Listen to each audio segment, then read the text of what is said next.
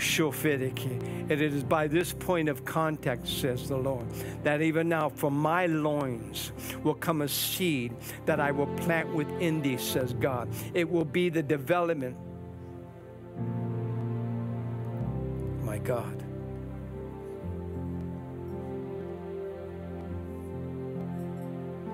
Shike. From my loins will come the conception of the ministry that I will birth within thee.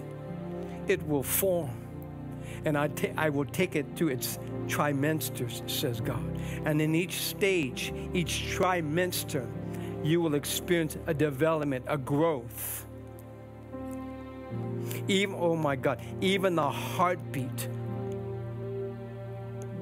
of this ministry, says the Lord.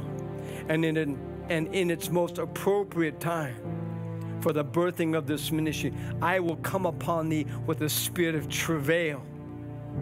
And as you intercede, as the travail of my spirit comes upon you, out of your spiritual womb will come the ministry that you've asked me for, the ministry that I've destined you for, says the Spirit of the living God. And do not allow the carnal mind, the intellect, to form its opinion uh, based on your natural age. It has absolutely nothing to do with that. This conception is a holy conception, says God. And I will bring it forth according to my purpose and according to my plan, says the Spirit of the living God. Let's go. Your heart. Tonight, let me introduce myself to you as Jehovah Rapha,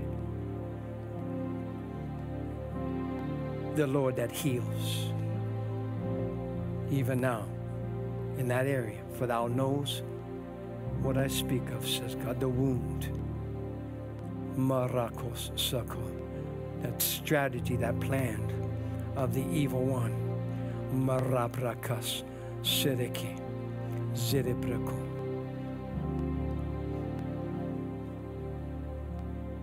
And here's the vision. The hand of God, the hand of Yahweh, the hand of Jehovah, the hand of Jesus is on that, that wound right now. And I see the wound, the laceration, I see it closing up and that which became bitter, and that which became sour, and that which rooted itself in bitterness is now being removed, says God.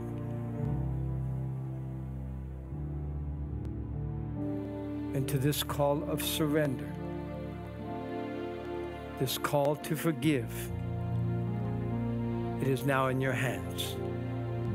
And as you forgive that one, the wound will begin to close. And as you forgive yourself,